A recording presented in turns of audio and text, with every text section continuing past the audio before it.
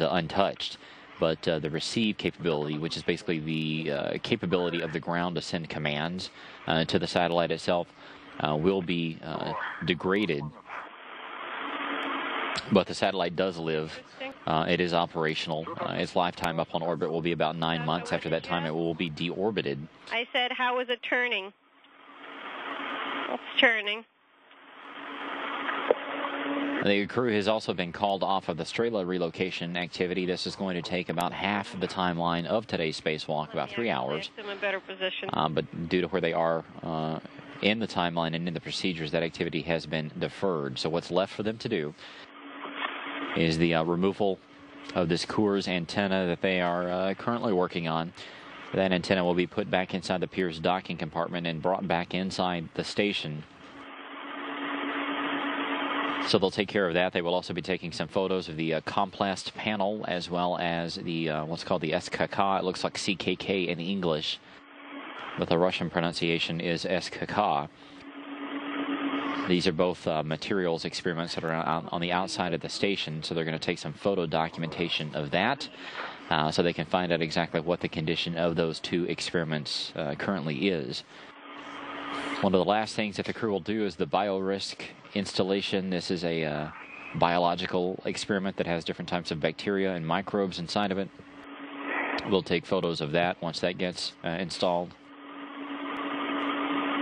And they will uh, close out today's activities by some other uh, celebratory uh, photos that they will take care of as well.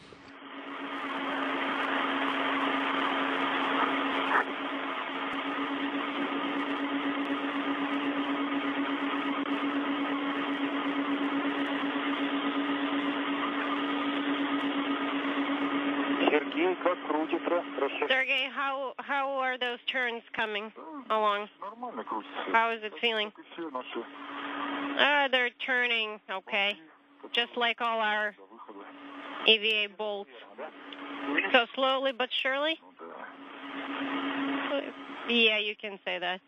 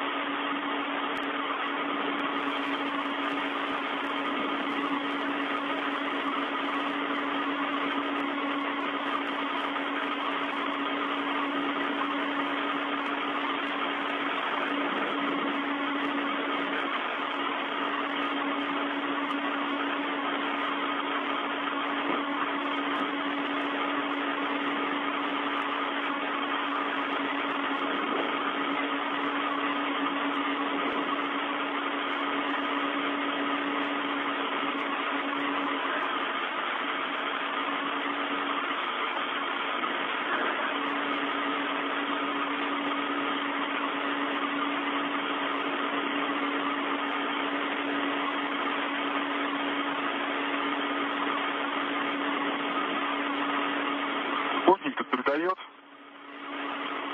Что там, как? Уже сигналы серые принимаются?